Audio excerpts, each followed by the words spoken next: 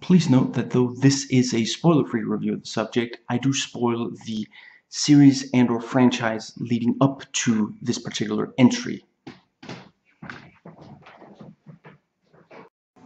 Put off by how long this video is, don't worry, I try to jam-pack my videos with as much content and as much detail as I possibly can. Anything I feel I can comment on and that I feel you might be interested in, I pretty much put in the video. I try not to repeat myself and talk fairly fast.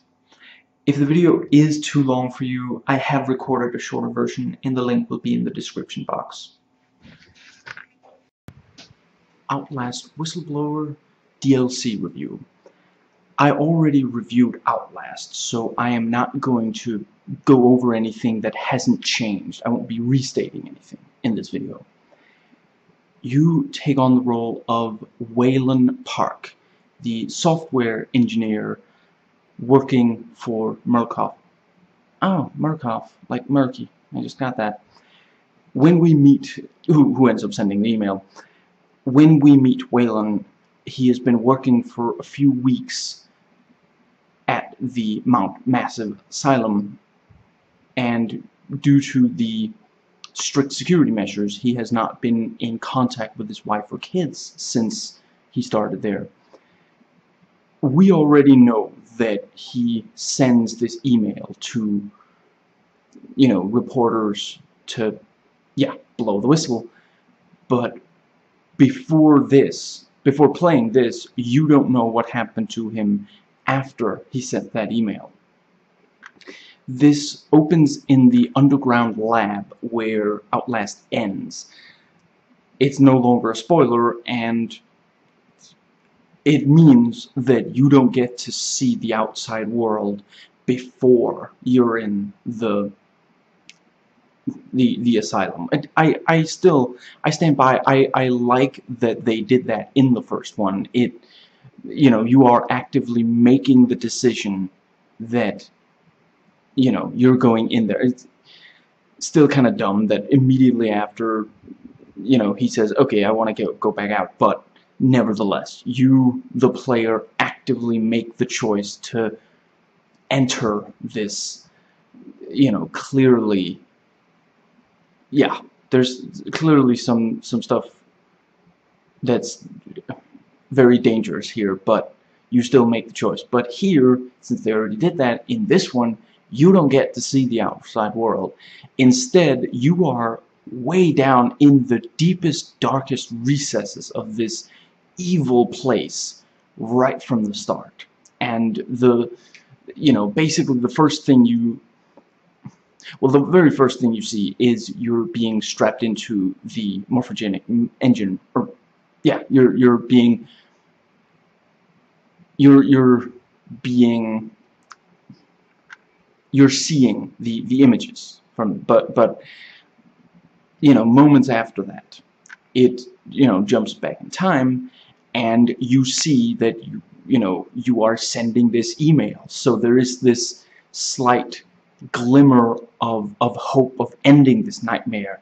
And then immediately you know you have to walk through some of this underground lab and yeah you are very deep inside this is you you understand why Waylon ended up blowing the whistle it's really you know it's it's it's a toxic environment it's it's choking. You're you're you you you can't breathe for all this awfulness that is right around you. And keep in mind, this is before any blood is spilled. This is you're you're walking you know into this lab you're you're surrounded by you know doctors and there's some security guards and such so yeah it's and and I really like that they show us that that we get to see what it looked like before. And the but but yeah, you know, the lab it's one of your work areas. You're literally and and you you you know, one of one of the prisoners even you know, one one of the patients who's about to be subjected to the the morphogenic engine, which we know is pretty gruesome. It's it's a really ugly. You know, you you you spend the closing minutes of Outlast turning this thing off. So now you're seeing it fully active and someone being forced into it. And the the guy basically you know jumps up and and you know there's there's like there's there's glass but yeah you know you when you when you in Outlast go you know go to reach the morphogenic engine you go through this this one like computer area. That's where Waylon is. And so yeah one of these guys jumps up and says please save me. You can do you know and it's yeah it's it's really gripping. And it's also such you know you you it's it's maybe the the most impactful time you see one of the patients and they aren't trying to hurt you you know? So some of them do are like saying I, I need you know some of them are very you know um, kind of helpless or they they clearly shouldn't be there and such but none of them quite did did this. And yeah and of course you you aren't able to save him. And moments later you see him with like tubes down his mouth and up his nose and just yeah. You know they they basically they they put him into the, the matrix for the first time or another time rather. And the you know you you you fix the the you know you, you do the thing that they needed you to do there and then you walk back to retrieve your your laptop that you used to blow the whistle and turns out they found it and you are put into the machine then you know then that's when it catches back up to the the opening and you do see some of the effects of the machine over the course of the game, but I I didn't really feel like they made a big thing out of this. I don't know, I I feel like it really might as well have been that you got out before the machine was really turned on, before you started seeing these things, because they don't really use it for anything. And you you know, you see the this place before it starts falling apart and you see it as it starts to fall apart. You know, the, the reason you're freed from the, the machine is that one of the, the, the variants, you know, breaks you free and, yeah, which, as you might have guessed, means that they're free.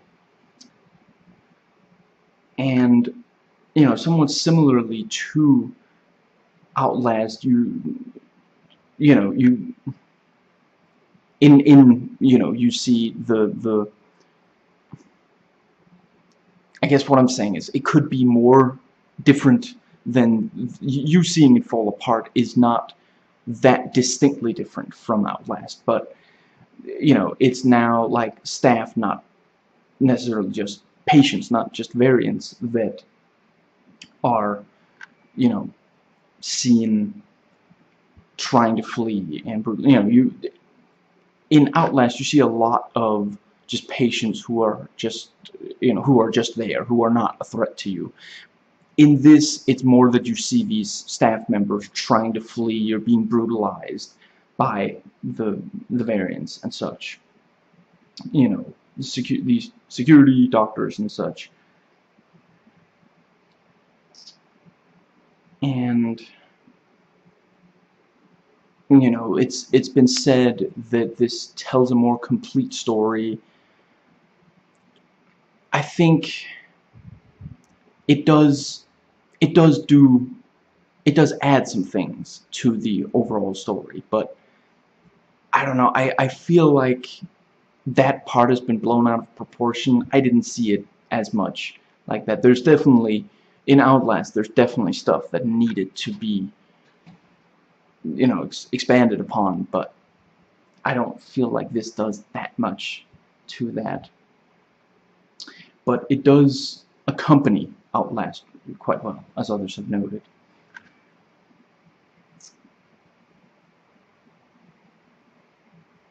And this has the actual ending of the the story where yeah Outlast kind of I get why they stopped it where and the way that they did but it's not quite the ending and yeah this does actually end it it, it shows you know this is largely a prequel but it does show a little bit of what happened after the end of Outlast as well. And yeah, as such, this is where you get the full ending to Outlast, and I do think that that's... I feel like they should have included the actual ending in Outlast, because not everyone is going to play the DLC.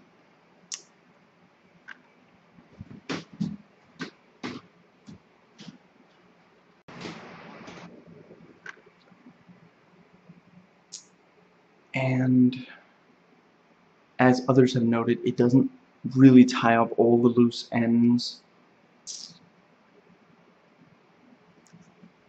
There's not that much new story-wise. There's there's detail, but a lot of that just goes into the the things that you only see here. You you find out about certain patients that you then also encounter. And as others have noted, you know, this and Outlast, the, the start and the end are really great, but, you know, it gets tedious around the middle. I liked that in this, objectives, you know, in, in Outlast several times, objectives are collect X amount of Y, or, you know, or go to X amount of places and activate Y and really, you know, I, I, you know, it it works fine, and I don't, you know, but I do I do like that this didn't particularly do that. In this, it tends, you know, it's still fetch quests, but it tends to be one thing at a time that you go and get. You know, so like an Outlast, it'll be the key that you have to get or something and basically when what you what you're looking for really changes it's because you've gone into a new area. It's not just that okay well now you did this now you also have to do that before you can leave this area. This one you know kept to more of a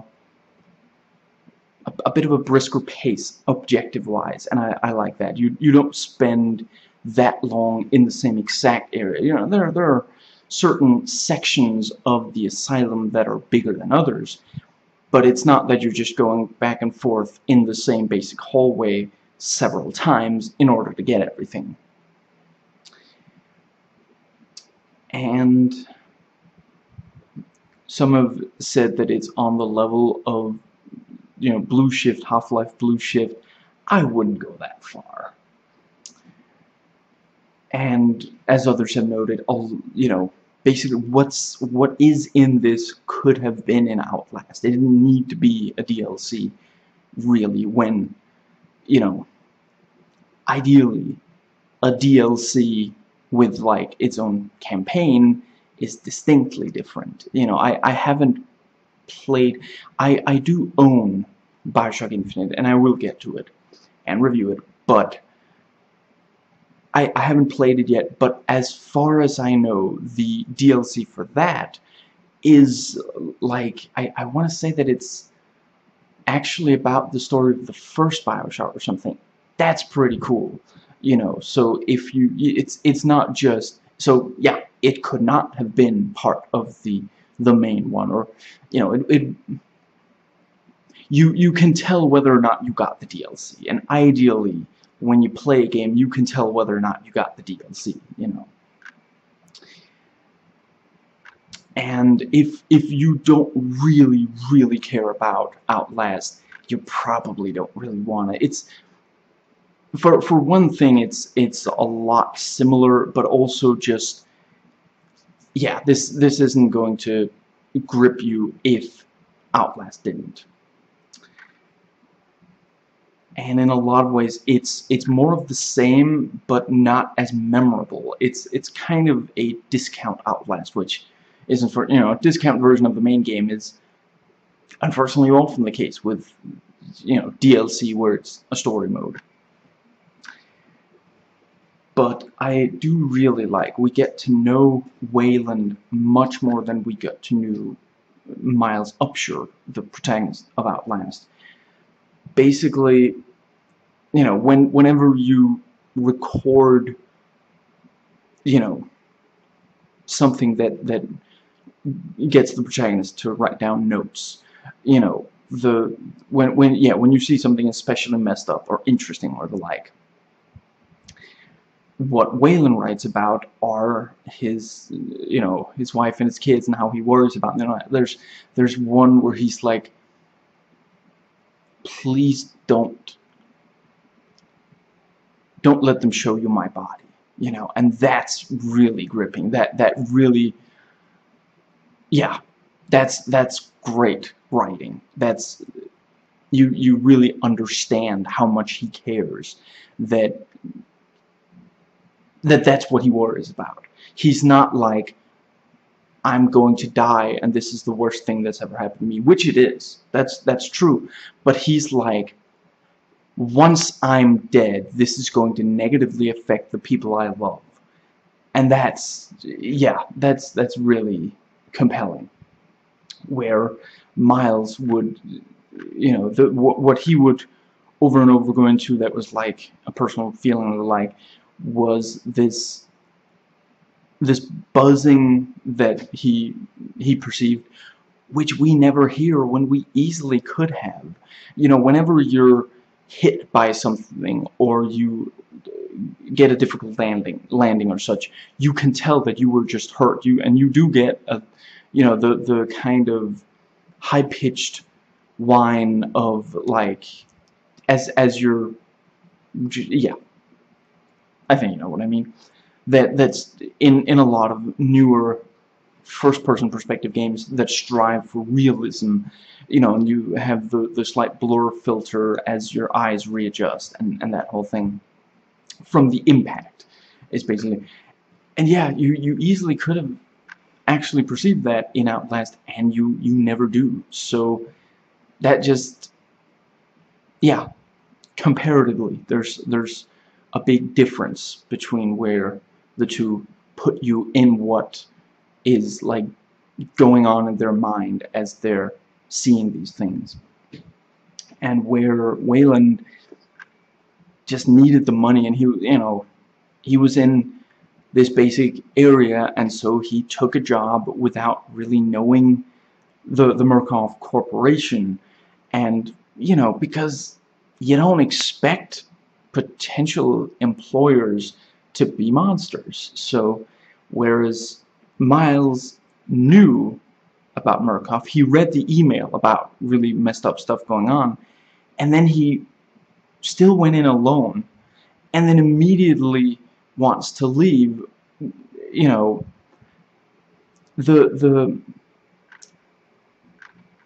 when, when he, you know, maybe the, very early on, and, and something that really motivates him to try to get back out, Miles is, is that Miles finds the remains of the this small military, you know, that the like private military outfit that Murkoff has, and it shows, you know, they've the the variants are that powerful. Even the military weren't. It, it, this private military force were not able to stop them. If he had known, you know, the, I mean, you, you see the military vehicles outside, so you do have an idea, but then just, that just raises the question, did he really think that those wouldn't be Murkoff men and he would probably be killed by them, but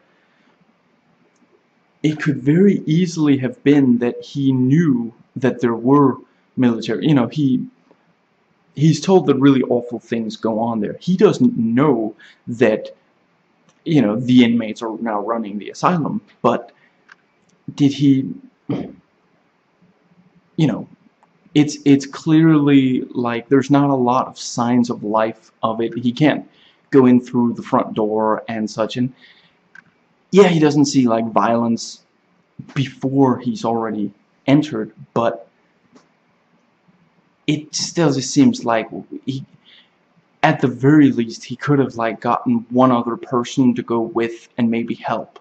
And then the moment that he's somewhere that he can't get back, he yells out to the other person, call the police. He could have called, I, if he had called the police and they started to enter, then the first game would not have been, then, then Outlast would not look the way it did. That's true. But they, it didn't have to be that he didn't know about the military. They, if he had gone up and the military were, this, this military outfit were just about to, maybe, maybe like he drove up and instead of the place being so abandoned, you know, the the military this military outfit asks you know what are you doing here and he like pretends to be part of Murkoff or something he's you know just or or maybe he sees them you know about to get into the the building and he sneaks in after thinking okay well if there's military here then I'm not in danger. And then once uh, you know then they shut the door behind them. Okay I guess I'll have to find another way in. Then he finds them dead. Okay he he had a reasonable expectation of safety relative safety. You know as it is he just comes off as kind of an idiot. And you don't sympathize with him as much as you do Waylon. And it really doesn't help that Miles is always being such a smartass that we can't really we don't feel like oh man he's really scared and this. He's just you know making bad jokes.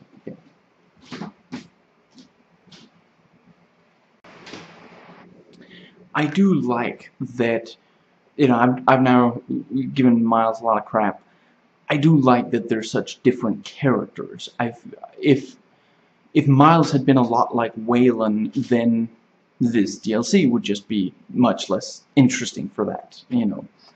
The, the notes they take from filming things are really all that sets them apart, but that those notes do really set them apart. You know, neither speaks, you never see either of them, so that's all that the you know the developers had to show us who these people are, who these two protagonists are, and they actually did use that to really set them apart.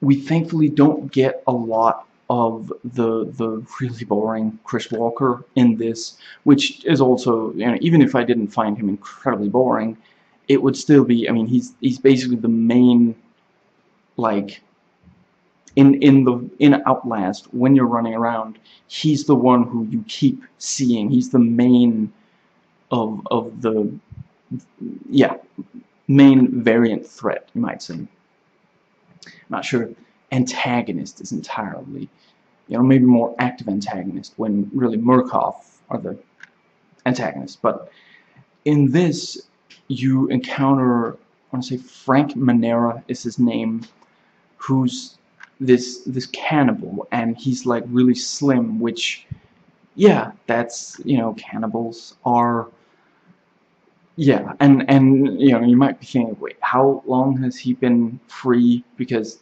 you know cannibalism affecting your physiology that much. But you do read a little about him. Apparently he didn't eat much before either. He, he didn't seem to really like the taste of food or such. But yeah and he's he's got a little bit of a beard and he carries this electrical circular saw which when you're a bit you know a bit of a distance away from him he'll start using you know he'll he'll I forget what yeah he'll he'll run it slightly for for a little bit and you're you're hearing it. It's it's similar to you know and and the louder it, you hear it, the closer he is, of course, and you know you can you can also use that to figure out roughly where he is so you can you know and and thus plan which direction you're going to go in based on that and it's similar to Chris Walker's chains but here it makes you think of the pain that thing is going to cost cause. I I don't know if I, I can imagine that maybe they worried that if they if they gave him if if Walker had been carrying around a soul that that would have been too much. I I read somewhere that like DLC aren't rated but I'm then more recently I couldn't find that again but anyway I could imagine that it's something like that. and to be fair jangling chains is a creepy sound. You know, it's it's not something you want to hear near you.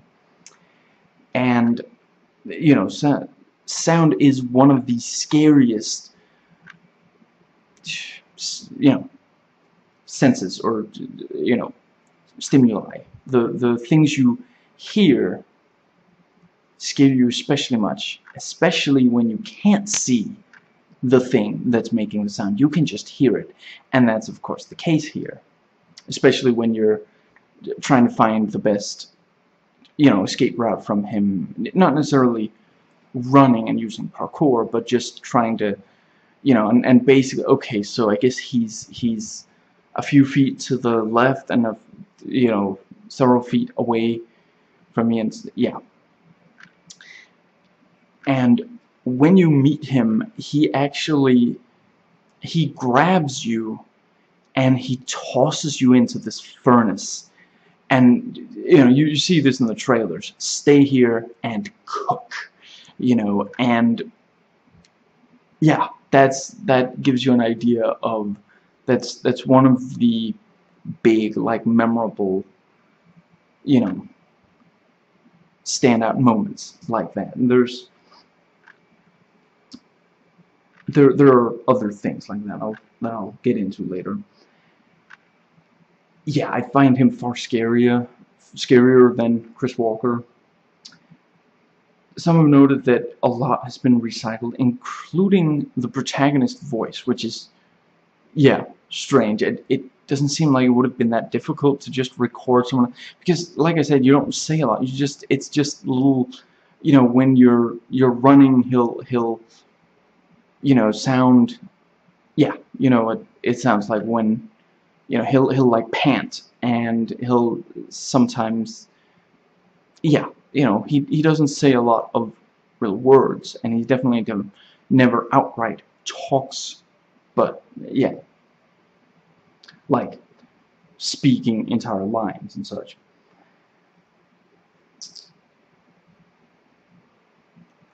There's one bit where the exact same lines are actually used. You you meet. Yeah, I'm not, I'm not going to give away who it is, but you meet someone that you meet in Outlast as well, and they say the exact same thing, which would bother me less if it weren't for the fact that there's no payoff in this one, when it, it actually has really good payoff in Outlast. So yeah. The, the, the characters in this are more memorable, especially maybe the, the last major one you encounter. And another big variant in this is Eddie Gluskin who wants to make you his bride. And basically you know, the the the inmates are all male. So the way that he tries to find a bride among the others is literally he will castrate them. And you see this. So yeah, and in other ways mutilate.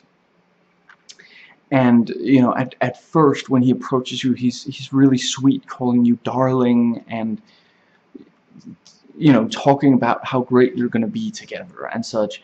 But then when you keep evading him, he turns angry and starts calling you, you know, calling you a slut and saying you're, you're just like the rest of them and, and such. And because of the the the the morphogenic engine, his his eyes are literally there's more blood than than like you know they're they're more bloody than they are white basically and you know other than the pupil of course which isn't white but yeah the whites in his eyes are almost all blood it's really yeah this actually has very few idle patients the way that Outlast has a lot. It, it tends to be that yeah, they they they at least try to get at you or they they threaten you or something, but yeah.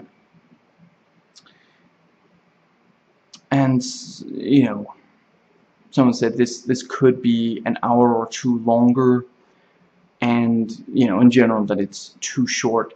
It took me two and a half hours on this first try. And for comparison Outlast itself took me four hours on the first try and three hours on the second. And then I replayed it another time you know in the days leading up to this review for very close comparison where it took me three and a half hours. So it's not that far off really when compared to you know the the main game. So it's yeah but part of that is that the main game itself is also really short. So you know if if you're buying both just keep in mind that it's not yeah it's not gonna last that long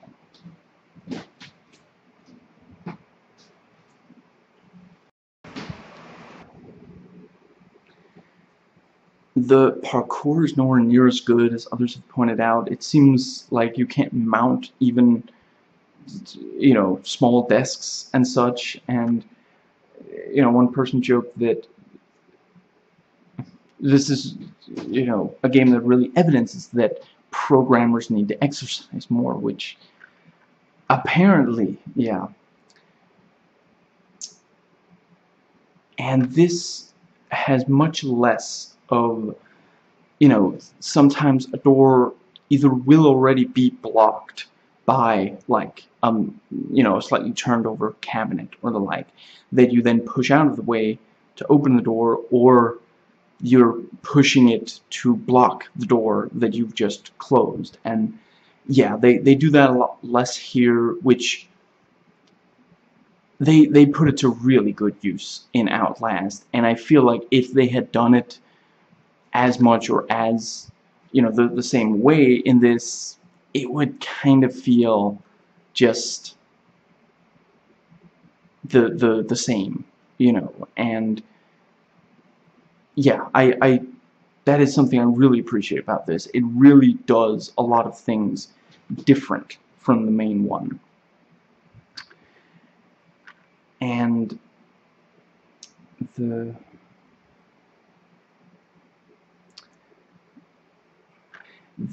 others have noted there's not there are not that many that you have to hide from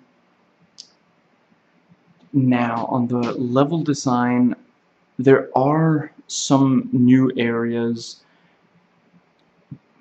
Largely the environments are kind of bland uninspired really linear and feel it and kind of copy pasted just nowhere near as memorable as the main ones. And that is kind of too bad because the yeah the, the level design is pretty good in in Outlast itself but again discount Outlast the there there are some areas that you revisit such as the prison and you know new areas there's you you see different parts of the the recreational areas in in Outlast you go to the this theater that they have, and in this you'll go to the exercise yard.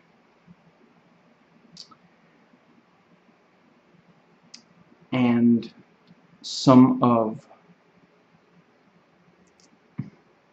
in in the prison you see one area that's it's it's the same area but it's a at a different point in time. And basically when when you're there in Outlast there's something there's there's a certain something there. And when you get there in this you see as it's being placed there as it's being completed which is is a cool enough little detail. And there's there are a few areas where you have to go through these really narrow and tight spaces. And there is at least one tower that you have to climb to the top of and even compared to Outlast this is extremely brutal grisly violent and gory and yeah the the note I made a while back which I now can't find the source to anymore suggested that apparently DLC are not don't don't have to go through a rating process. So they they did things in this that they knew they wouldn't be able to get away with if it were rated you know since it would either get a prohibitively high rating or I forget I I'm not certain if they can like force them to to remove certain things or they'll like ban it or something but yeah and yeah they, there are definitely some things in this that even for Outlast are really out there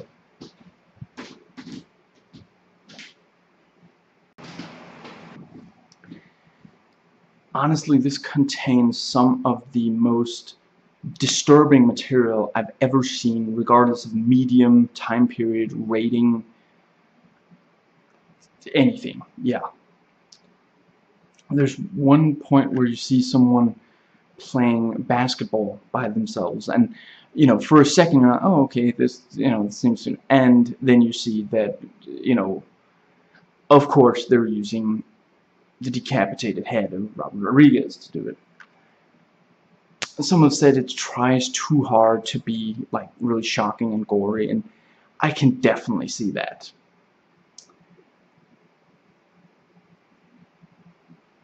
And some have said that it does make it less boring than Outlast, which got repetitive in the long run, and where this is more driven by its gore, which I would definitely say the throughout the game there's there's something you know I've, I've already mentioned the the two you know the the circular saw the, the castration there's never really any time in this game where the the threat of something extremely gory isn't either you know very close or it, it feels ever present even when you can't see it.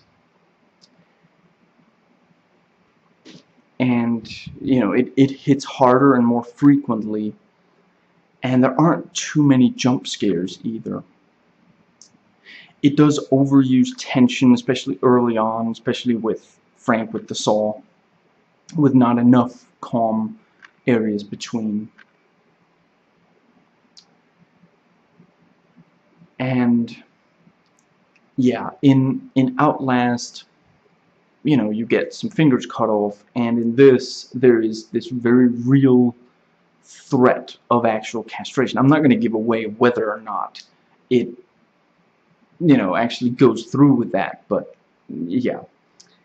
And really it has about the same amount of really big standout moments that, yeah, you know, the, the, the whole Trager portion dropping and then retrieving the camera which is now you know clearly it's seen better days you know it, it you can still record with it but like part of the lens is broken and it'll every so often get this like staticky you know kind of thing. And yeah, the this has some things that that go off the same themes as that, and yeah, I I don't I wouldn't say that all of them top the Outlast ones or even match them, but they clearly did try to do something that wasn't the exact same. Sometimes it is also a little, still a little too similar. Some have said there's too much of enemies just popping out and then you have to run and then, you know, yeah. I don't, I didn't really experience that personally. I, did, I would say one thing that this, I would say, tries to match this but doesn't quite, is the when you're knee-deep in sewer water and Chris Walker is right, because you can't run that fast in that, and even if you do, you'll just make a lot of noise, and he'll hear you, and you can always hear him, and he doesn't necessarily have the same problems moving as fast as you do in the water, so yeah there are times in this where it tells you, not, not many, but it tells you how many hours have passed. You know, instead of just, I, I, I get why they did it, but I do feel like it would have, it would have been more compelling if you, if you didn't know, and if, if they felt the need to communicate that a lot of time had passed. That's the kind of thing you do with like a setting or rising sun or you know maybe like there's there's a, a clock on the wall and you know you you catch a quick glimpse of it and then you know you you see it again when I'm, I'm not going to give away what what happens in the in the time between but you know the yeah, then, then when that time has passed, you look at the clock again and you realize that a lot of hours have passed. But, but it literally just plants the text right in front of you 12 hours later. And that just takes way too much of, like, the, the mystery away. And, yeah, and, and, you know, they could literally make it part of the cinematic that you look at the, the clock this adds several sexual elements to the horror. I've already mentioned the castration. I'm not I'm not going to give away any others, but again, that's maybe something where they felt that that couldn't. I, I read that there was at least one sexual element they considered putting in Outlast itself, that they didn't. You know, it's, it's on Outlast's wiki. I believe it's under Chris Walker. And some suggested there's maybe too much Rove in the setting in this one. Maybe.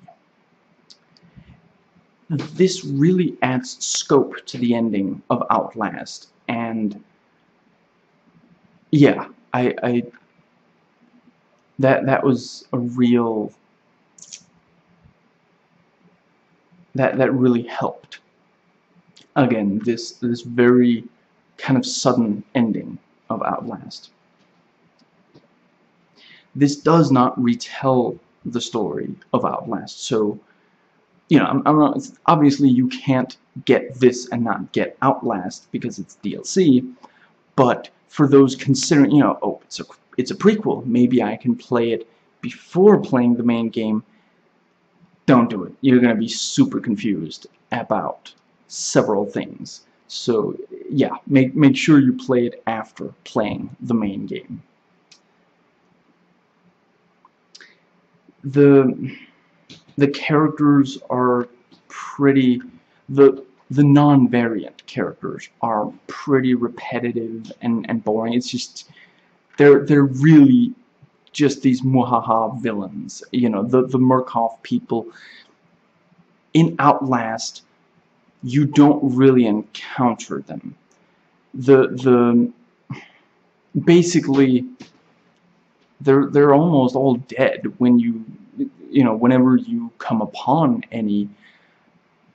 So when you when you read you know when when you find out just how ugly the things they do are it's because you're reading these notes that they've taken. And in in that there is this kind of they they've maybe you know when the moment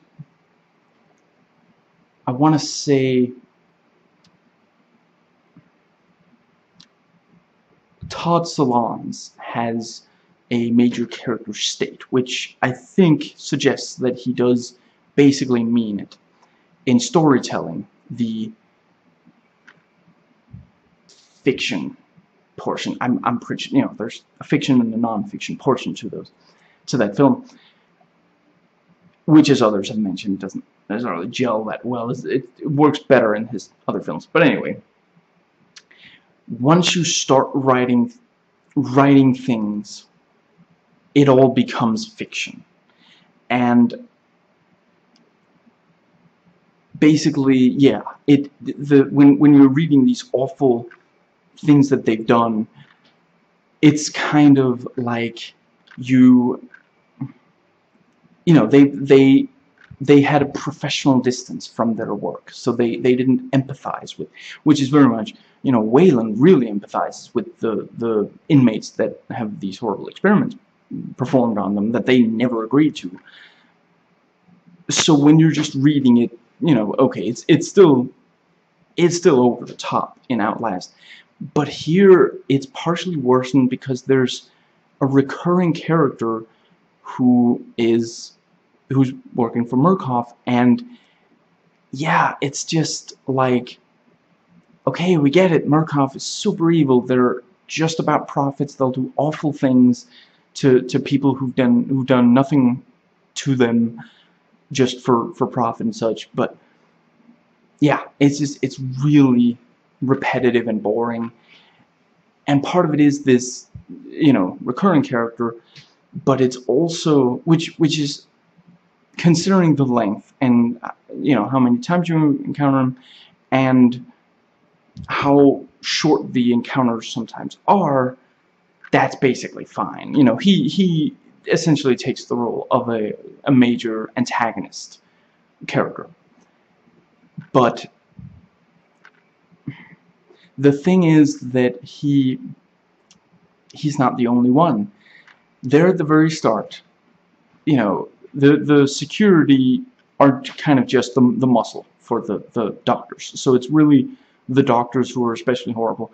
And you pass like half a dozen or, or more and all of them are just talking about, well, I mean, we did this thing to him and then that. And it's just, you know, it clearly caused a lot of pain, but I don't think we really, we should push it further. And it's just, like, you know, I said that it, it has this kind of, you know, it's like, it's, it's smothering you. But it didn't need to be so one note it could have been you you know basically it appears that Waylon is the only person who's worked the you know he's one of the only that seemed to at all have a problem with what was going on and I just feel like you could have had yeah there there are others but you could have made that part of it you could have had at least one of these doctors say, I don't, I think we're, you know, going too far with this or something. Just, yeah, it, it becomes too much. And, and again, like Outlast, they do tend to think that if they just shock you enough, if they gross you out, that's the same as them scaring you.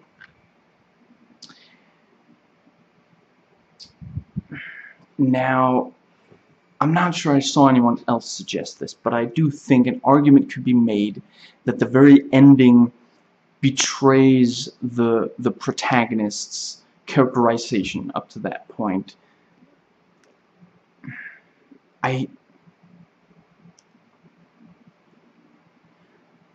ultimately I think you know it's maybe like 60-40 or 70-30 but ultimately I don't quite think it betrays his characterization. I think there's been enough setup for it being like that, but I do think that it maybe goes a little too far in, yeah. And while I'm not going to give away how, I would say that the ending of this fits really well with the opening of Outlast. I've reviewed other parts of this franchise, the links are in the description box. Please comment, thumbs up, and subscribe for more content.